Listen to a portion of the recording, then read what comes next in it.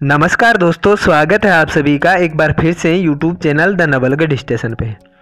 दोस्तों, हमारे एक सब्सक्राइबर मामरा जहांगीर ने जानना चाहा है कि रेलवे में यार्ड रिमॉडलिंग का क्या मतलब होता है।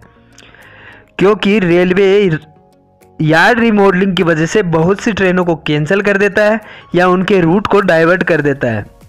तो दोस्तों, आज की वीडियो में हम समझेंगे कि यार्ड रिमॉडलिंग का क्या मतलब होता है। दोस्तों, आपने देखा होगा कि कोई भी ट्रेन रेलवे स्टेशन पे रुकती है और उस स्टेशन पे जितने भी प्लेटफॉर्म होते हैं, उन्हें रेलवे का यार्ड बोला जाता है। मतलब कि उस यार्ड में ही ट्रेनें रुकती हैं। और यार्ड रिमॉडलिंग का मतलब होता है, उस यार्ड में ही कुछ फेरबदल करना या बदलाव करना। मतलब उसको रीमॉडल करना।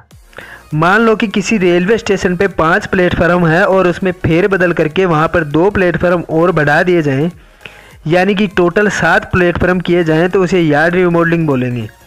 इसके इसके लिए दोस्तों करना क्या होगा कि जहाँ से मान लिए दो रेलवे लाइन है, और वो पाँच रेलवे लाइन में प्लेटफॉर्म पर आकर बंट रही थी, अब उसको सात रेलवे लाइन में बांटना है। इसके लिए वहाँ दो रेलवे ट्रैक्स को और बढ़ाना पड़ेगा, और उसके साथ साथ वहाँ के पॉइंट्स क्रॉसओवर इन सभी को भी बढ़ाना पड़ेगा। और पूरे ट्रैक्स में मॉडिफिकेशन करना पड़ेगा। इसके साथ साथ पूरे आर आर आई पैनल है, जहाँ से पूरे ट्रेनों के ट्रैक बदले जाते हैं, में भी फेर बदल किया जाएगा। तो इन सब कामों के लिए वहाँ यार्ड रिमॉडलिंग की जाती है। दोस्तों वीडियो से आपको समझ में आ गया कि यार्ड रिमॉडलिंग का मतलब क्या होता है। दोस्तों वीडियो आपको कैसा लगा कमेंट करके ज़रूर बताएँ और वीडियो आपको पसंद आया तो लाइक व शेयर करना न भूलें।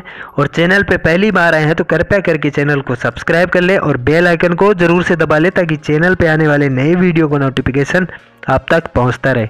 तो दोस्तों, आज की वीडियो में बस इतना ही। मिलते हैं एक नई वीडियो में। तब तक के लिए धन्यवाद। जय हिंद।